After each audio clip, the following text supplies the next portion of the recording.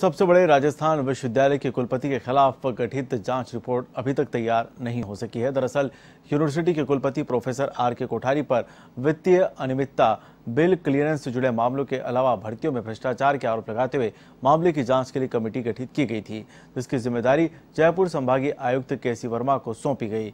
सितंबर महीने से शुरू हुई जाँच को 10 अक्टूबर तक पूरा कर राज्यपाल को सौंपने की बात थी, लेकिन अब यह 10 नवंबर तक भी पूरा नहीं हो पा रही है, जिसको लेकर संभागीय आयुक्त ने कहा है कि जाँच के लिए कुछ दस्तावेज़ और बाकी हैं।